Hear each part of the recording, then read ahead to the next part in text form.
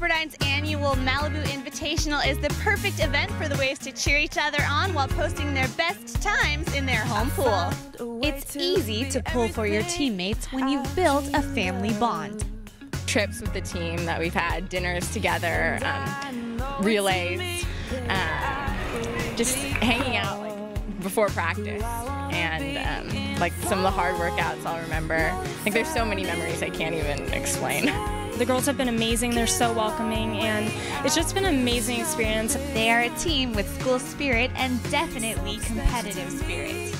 Last year at conference, there was one relay in particular where we really, it was, I think it was the 4x100 freestyle. We really came together and we, I don't think we won, but we got second. Everybody swam incredible times. It was the best we've ever done. We ended up coming in second to LMU. We're going to change that this year. But um, definitely the last finals night of that conference was the best. That we cheered louder, crazier. Everyone was into it. It was the most fun I've ever had at a sporting event in my entire life. As they set out to compete at their very best, there is one thing the team is always thankful for their fans. It'll just be like great to have a crowd, have our like our school supporting us. A lot of people's families are in town, and it'll just be a lot of fun to have the support. I'm really, really excited. Um, I haven't competed in a couple years, so it's really, really exciting, and um, it'll be nice to have all these people and fans come and watch us and cheer us on. Head coach Nick Rodionov is known for bringing out the best in his swimmers. Last season, 92% of the team swam personal bests. Nick is the best coach. He expects so much of us, and I think we give it back to him every day. Um, he's wonderful. He's the best coach I've ever swam for, and it's why I'm at Pepperdine. Um, I love it. The team's awesome, and hopefully everyone comes to support us because we love to support other waves. So go Waves! Last year at conference, there was one relay in particular where we really, it was, I think it was the 4x100 freestyle. We really came together and we, I don't think we won, but we got second. Everybody swam incredible times. It was the best we've ever done. We ended up coming in second to LMU. We're going to change that this year.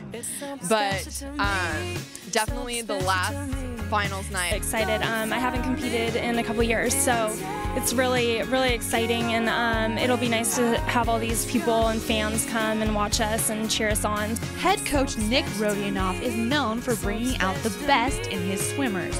Last season, 92% of the team swam personal bests. Nick is the best coach. He expects so much of us, and of that conference was the best. That we cheered louder, crazier.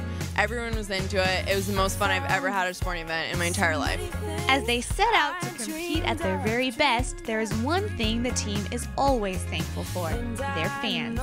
It'll just be like great to have a crowd, have our like our school supporting us. A lot of people's families are in town, and it'll just be a lot of fun to have the support. I'm really, really had dinners together, um, relays, uh, just hanging out like before practice, and um, like some of the hard workouts I'll remember. Like there's so many memories I can't even explain. The girls have been amazing. They're so welcoming, and it's just been an amazing experience. They are a team with school spirit and definitely competitive spirit.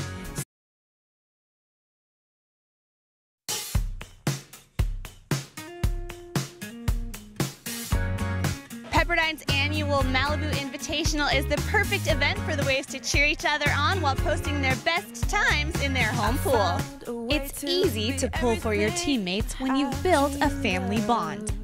Trips with the team that we've